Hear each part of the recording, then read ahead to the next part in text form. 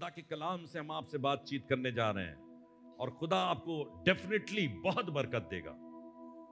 और आज का मजमून है, आज का विषय है खुदा के कलाम से the valley of dry bones the valley of dry bones सूखी हड्डियों की तराई. सूखी हड्डियों की तराई. खुदा बाप इंसान को बहुत बेशकीमत तरीके से अपने बाहों में संजो के रखना चाहता है। खुदा बाप, अपनी बनाई हुई सृष्टि को, अपनी बनाई हुई कृति को वो महफूज रखना चाहता है। लेकिन जैसे हमको आज के समय में परमेश्वर की बहुत सी बातें समझ में नहीं आती। आप से मैं, मैंने जब अभी थोड़ी सी देर पहले कुछ एक कहा बातें, आपको बहुत सी बातें नहीं समझ में पता नहीं कौन सी बातें बता रहे कहाँ से हो जाएगा, क्यों हो जाएगा।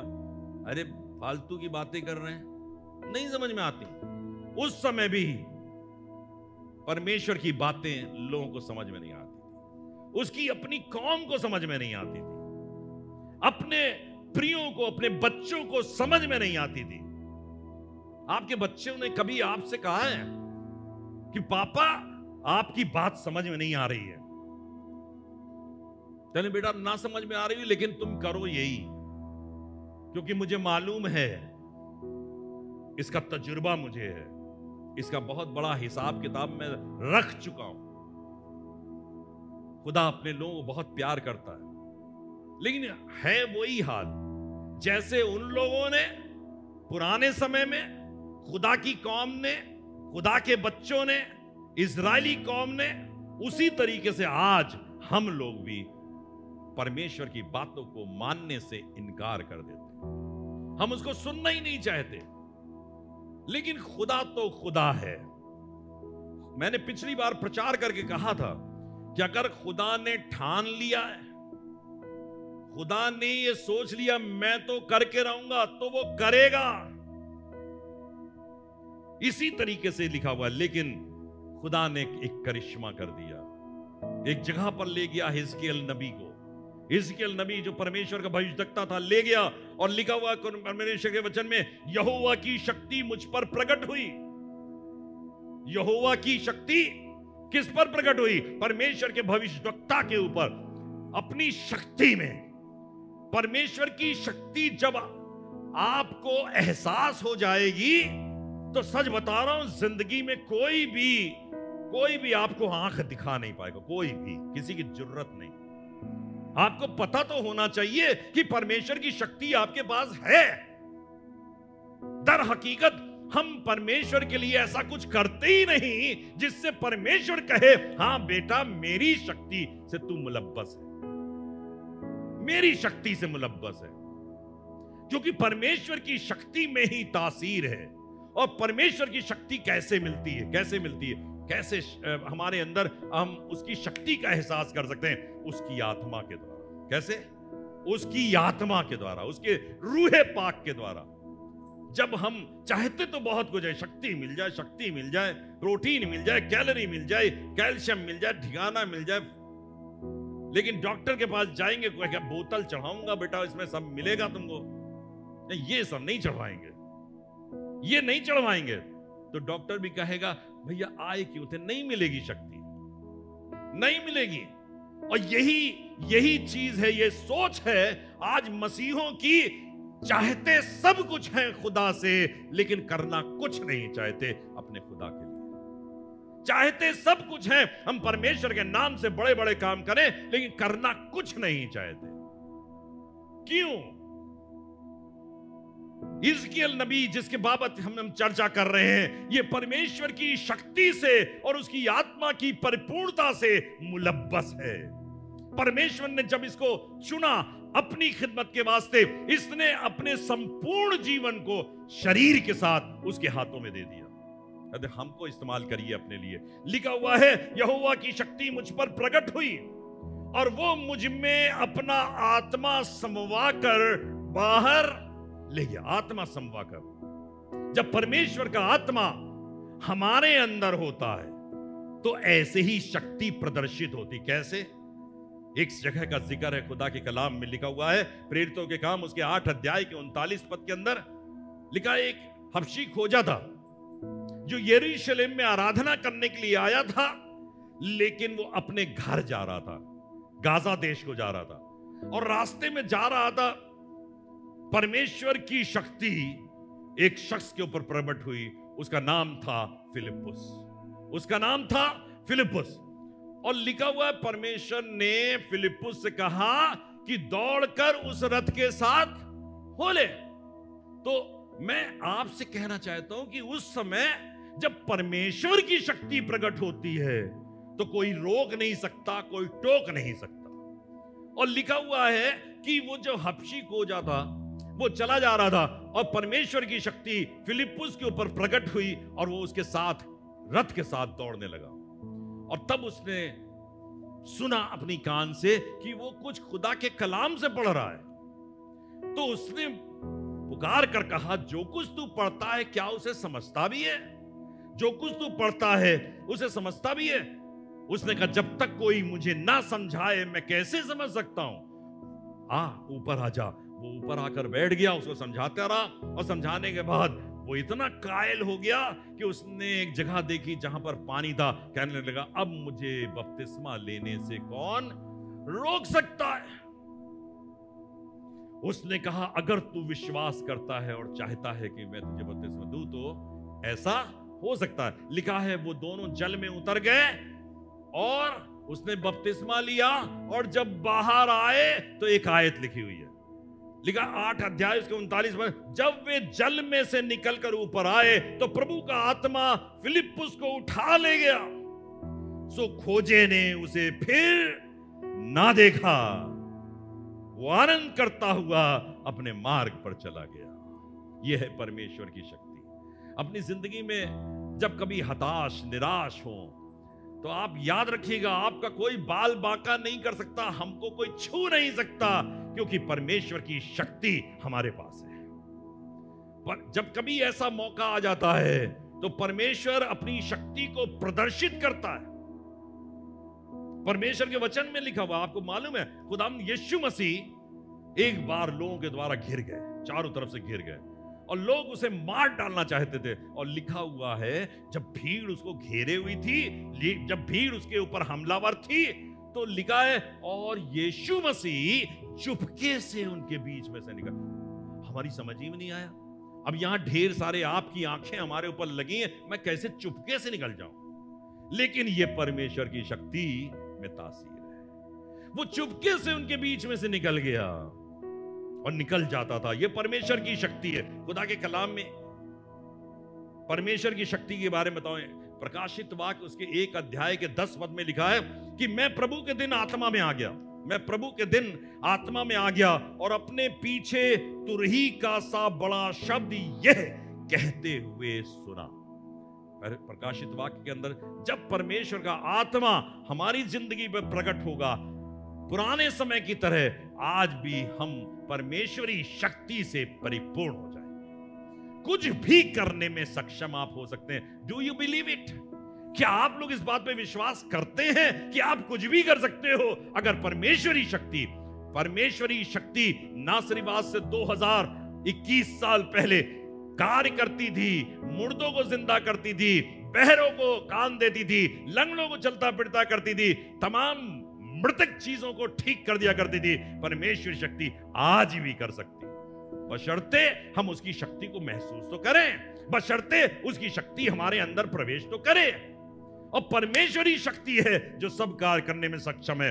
लिखा है, दूसरे पद के अंदर, तब उसने मुझे उनके चारों ओर घुमाया। कहाँ पर?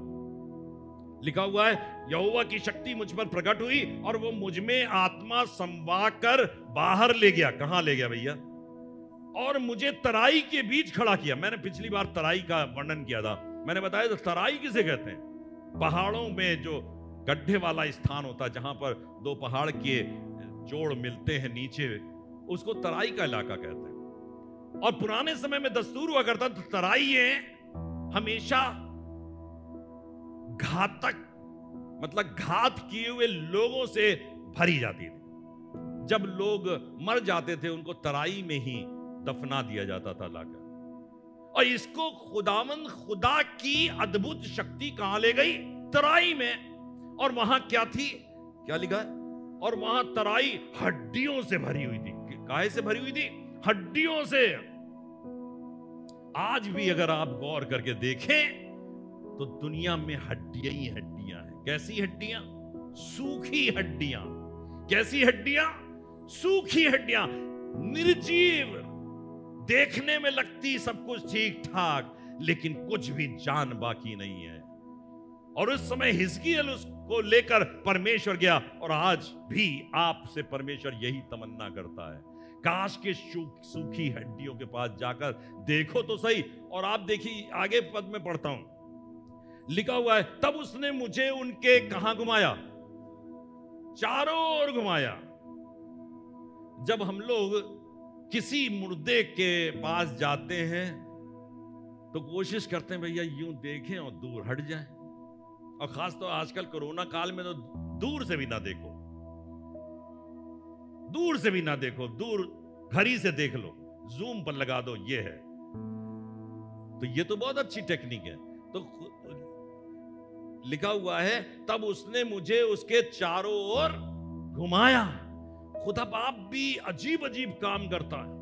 उसने हड्डियों को चारों ओर घुमाया और तब लिखा है, और तराई की तह पर बहुत ही हड्डियाँ थी और वे बहुत कैसी थी? बहुत सूखी हुई थी। ड्राई बोन्स कुछ जान नहीं। मतलब खुदा बाप बिल्कुल दिखा के कंफर्म कर रहा बेटा इनमें कुछ है नहीं, देख लो जरा गौर से। लिखा हुआ परमेश्वर के वचन था उसने मुझको चारों ओर घुमाया और तराई के तय पर बहुत ही हड्डियाँ थी और बहुत सूखी थी। तब उसने मुझसे पूछा, हे मनुष्य की संतान, क्या ये हड्डियाँ जी सकती हैं? खुदा बाप भी कई बार आपसे, आपके जहन के अंदर ऐसे ही सवाल पैदा करेगा, जो आपके जहन के लिए अनहोना है, नहीं हो सकता। आप बताइए, अपने जहन के अंदर बताइए, बहुत से सवाल आपके जीवन में चल रहे होंगे कि ऐसा हो ही नहीं सकता, हो ही नहीं सकता। खुदा बाप ने भी हिजकियल से कहा, क्या ये हड्डियाँ जी सकती हैं? और लिखा हुआ है, मैंने कहा, हे परमेश्वर यहोवा, तू ही जानता सबसे बढ़िया बचने का तरीका यह है, कुछ बयानबाजी ना करो। हमारे पादरी लोग बहुत अच्छे अच्छे से समझते हैं हमको कि इन्होंने कोई सवाल किया, जल्दी जवाब मत दो। जवाब दे के आप फंस जाओगे। तो ये कहते हैं पादरी साहब, आप ही जानते हो, अभी थोड़ी देर में बताओगे आप। ठीक है ना? तो परमेश्वर से इजकियल ने कहा, हे प्रभु यहोवा, तू ही जानता है, तू क्या कर सकता है? तब देखिए क्या लिखा। तब उसने मुझसे कहा हड्डियों से भविष्यवाणी करके कह, हे सूखी हड्डियों, यहोवा का वचन सुनो। हे सूखी हड्डियों, यहोवा आप बता ये हड्डी जो यहाँ पे लिखी हुई है इसका मतलब क्या है? इसका मतलब है, हमने पिछले समय में यह संदेश दिया था कि खुदा ने इज़राइली कौम को गुलामी के देश भेजा, जहाँ पर मिस्र देश में जाकर वो गुलामी में सैकड़ों साल रहे। फिर उसने उनसे कहा वहाँ वहाँ की मूर्तियों से मतलब मत रखना और मैं तुमको मुल्क कनान में पहुंचाऊँगा, जहाँ दूध और शहद की धाराएँ बहती है। ध्यान देकर सुनिएगा, जल्दी जल्दी बताऊँगा। लेकिन उन्होंने परमेश्वर की नहीं सुनी और परमेश्वर ने क्रोधित होकर उनको जंगल में ले गया। फिर मैंने बताया, जंगल में ले जाकर उसने कुछ नियम दिए, कुछ नियम दिए। लेकिन उन्होंने उनकी नहीं सुनी तो परमेश्वर क्रोधित हो गया और उसने कहा, तुम इसी जंगल में मर जाओगे। इसी जंगल में मर जाओगे और मैं तुमको, तुम्हारे बच्चों को मुल्क कनान में ले जाऊँगा। जाकर वो आगे बढ़ा। उनके बच्चों ने भी परमेश्वर के नियमों को नहीं माना अपने पापा की तरीके से।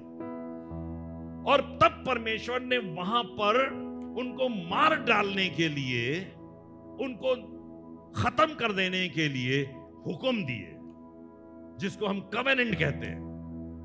और ताकि उनको मार डाले।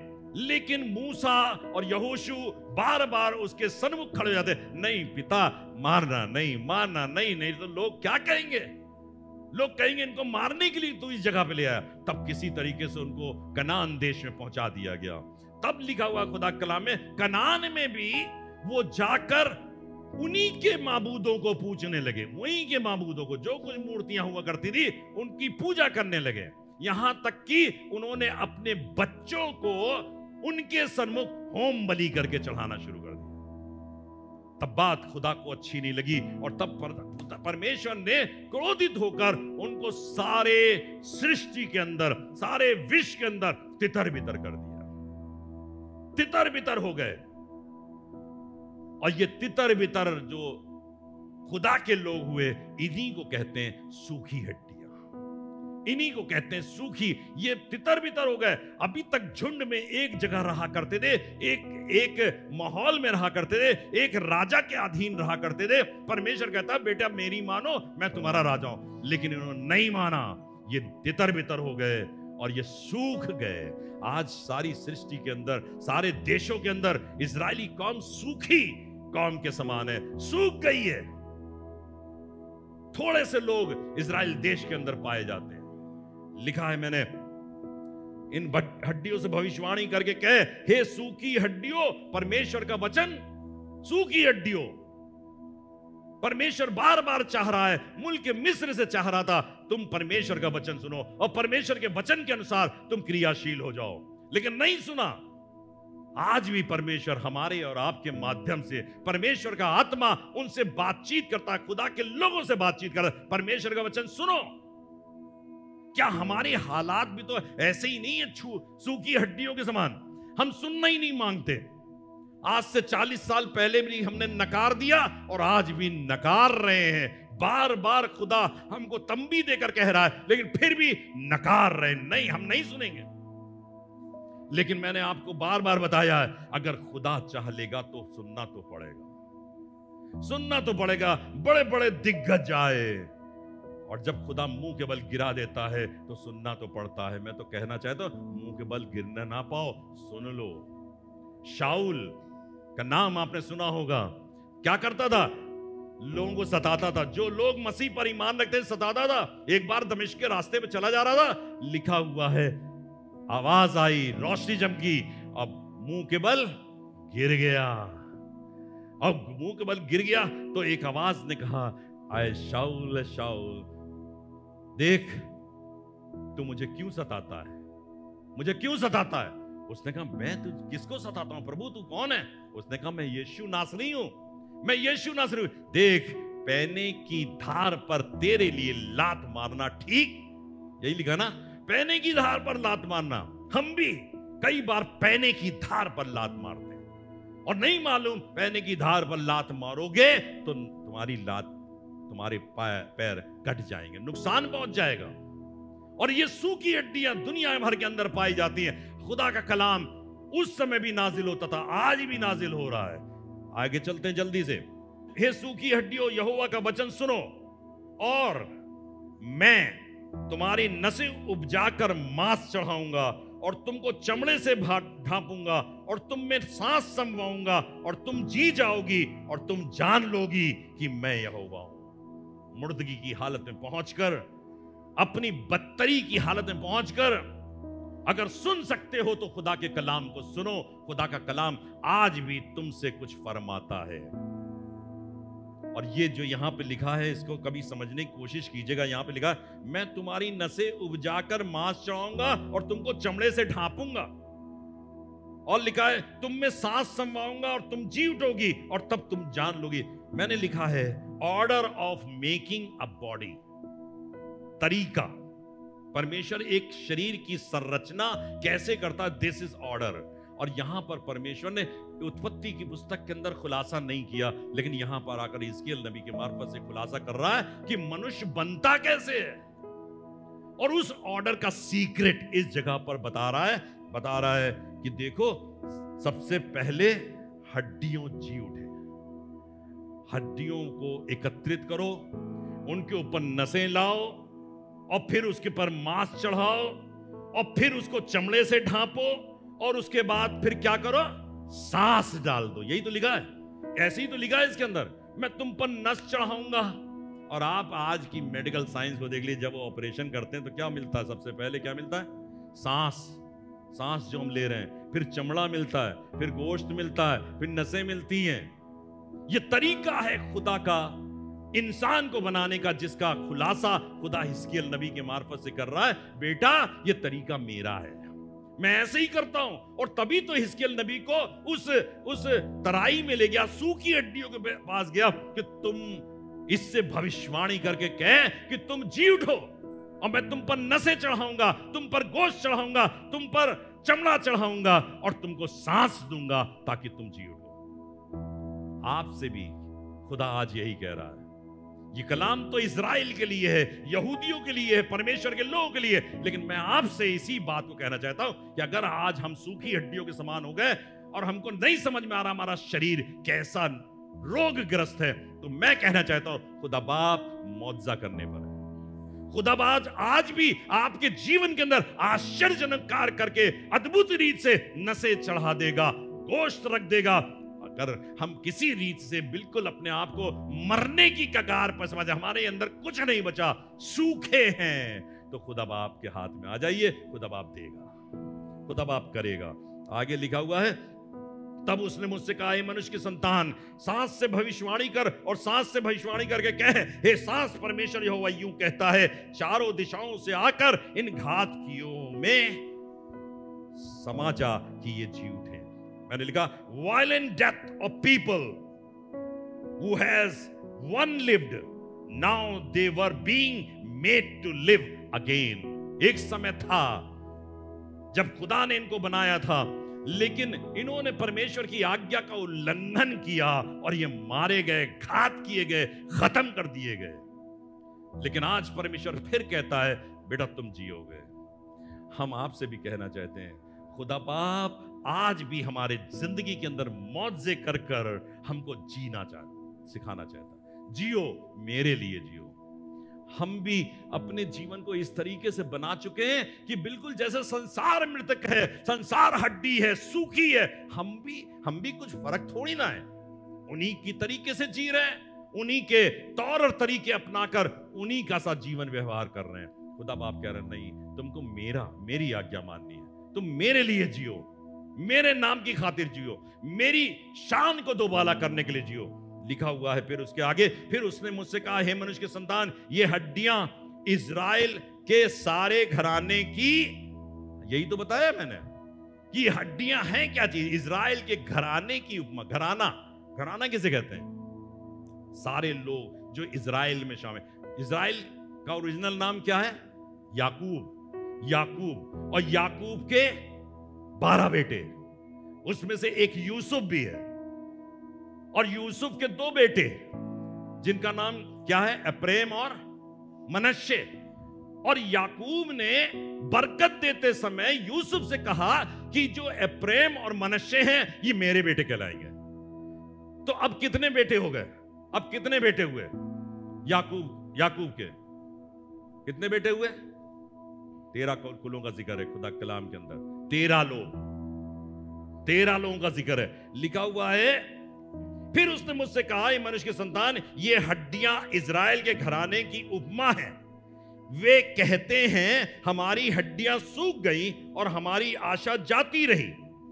इज़राइल के घराने की उपमा है और ये तेरा कुल आकर कहते हैं कि हमारी हड्डियाँ सूख गई और हमारी आशा जाती रही। हम पूरी रीति से क्या हो चुके हैं?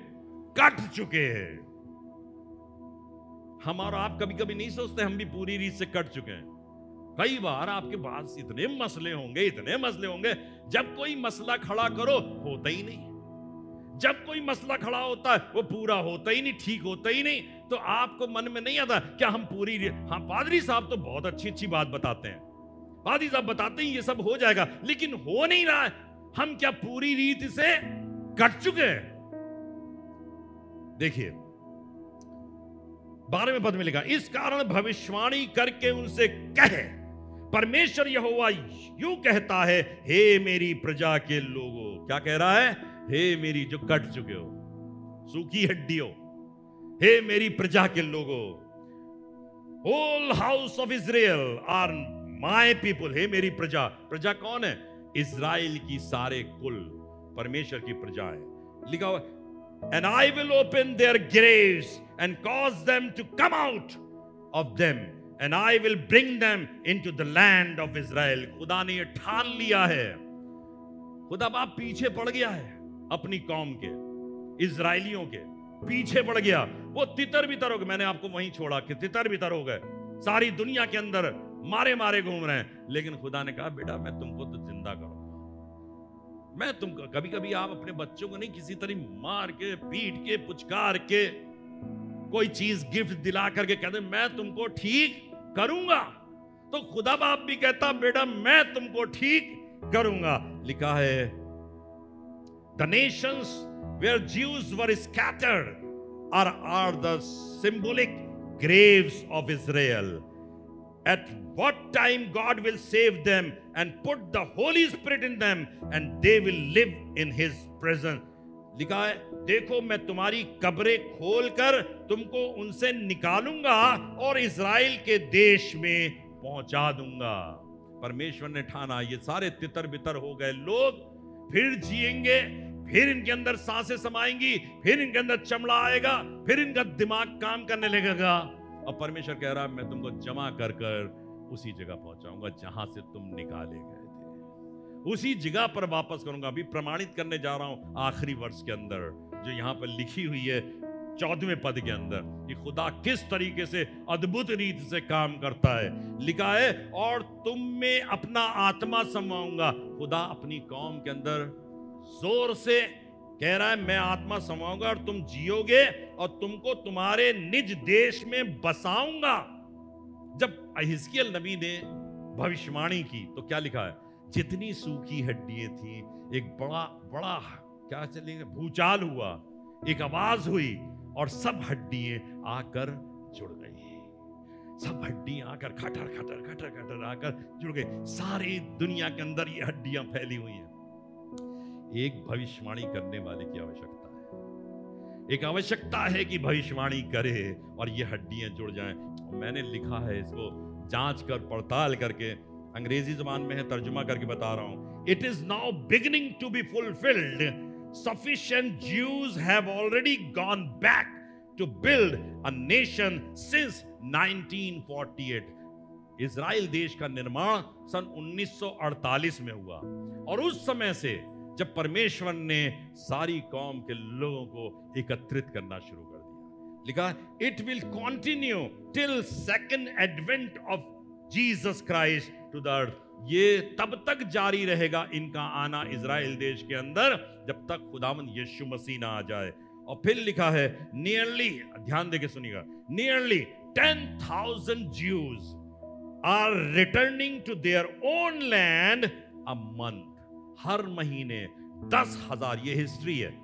दस हज़ार यहूदी सारी दुनिया से वापस अपने देश में पहुँच रहे हैं। But it will continue till millennium मतलब जब परमेश्वर अपनी हज़ार साल बादशाह के अंदर आएगा, तब तक ये जारी रहेगा और सारे देश के लोग वहाँ पर इज़राइल देश में पहुँचेंगे, क्योंकि लिखा है, और तब वो बनकर एक बड़ी सेना हो जाए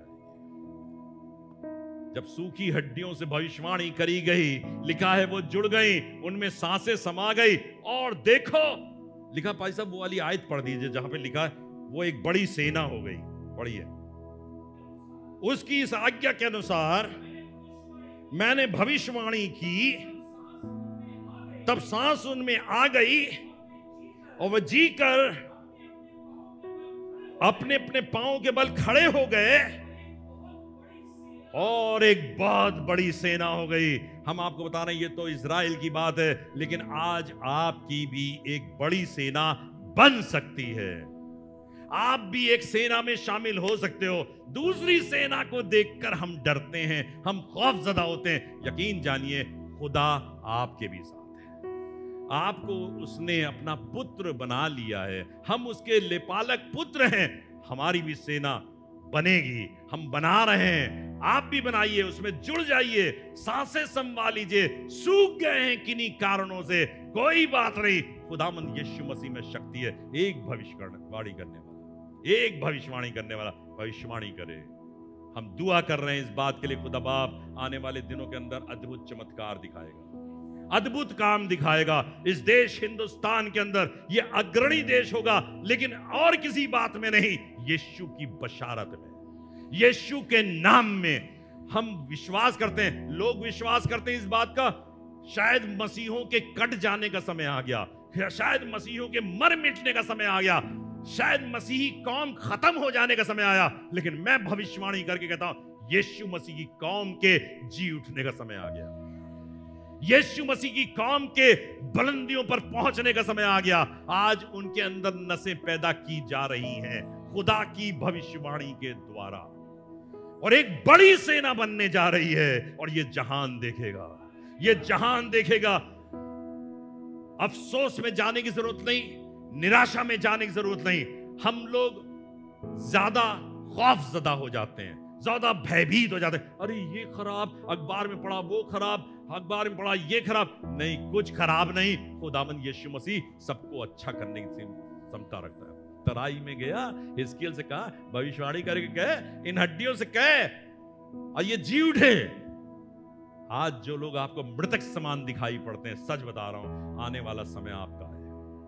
आने वाला समय आपका है। आने वाला समय आप जैसी सेना का है, प्लीज़ अपने आप को जागृत करिए। अपने आप को ज़िंदा कीजिए। अपने आप को खुदा के लिए समर्पित कीजिए। खुदा खुदा, अगर आप सूखी हड्डी हो गए ना तो वो इसीलिए हो गए क्योंकि हमने आज्ञा मिस्र देश वो बागे अदन से लेकर मिस्र में और मिस्र से लेकर कनान तक और कनान से लेकर सारे मुल्क में तितर बितर होने तक हमने उसकी आज्ञा नहीं मानी, इसलिए सूखी हड्डी हो गए। लेकिन आज खुदाम यीशु मसीह मुझसे कह रहा है कि बेटा ये मेरे अंदर से पिछले दिनों के अंदर खुदा ने उस भय की आत्मा को निकाला है कि नहीं, बेटा जो मैं करने जा रहा हूँ, वो तो तुम देखो। हिजकियल नबी तराई के अंदर खड़ा हुआ जहाँ पर सूखी हड्डी है, क्या देख रहा होगा? बाप रे बाप, यहाँ तो कबर में ले आया, ये तो खौफ ज़्यादा जगह है। लेकिन घबराने की ज़रूरत नहीं। एक समय तक घबरा गए। लेकिन अब यीशु मसीह कह रहा है, अपनी सामर्थ्यों का अपनी आत्मा संवा कर कहता है, इन हड्डियों के पक्ष में तू भविष्यवाणी कर। और जब ये जी उठेंगी तो एक बड़ी सेना हो जाएगी। और जब बड़ी सेना, आप छोटे हैं, आप कम हैं क्या? मसीहत छोटी है। आज भी अगर पूरा हिस्ट्री जानकर देखिएगा दुनिया के अंदर सबसे बड़ी कौम है? लेकिन मैं उस गिनती पर विश्वास नहीं करता, लेकिन मैं उस गिनती पर विश्वास करता हूँ, जो यीशु मसीह की आज्ञा से जी उठे। जो यीशु मसीह की आत्मा, पवित्र आत्मा से समवाई हुई सेना हो जाए, आप उस सेना के अंग हो सकते हो। You can be a part of that army क्या आप कहेंगे हाथों को उठाकर, मैं उस पार्टी आर्मी का पार्ट बनूँगा।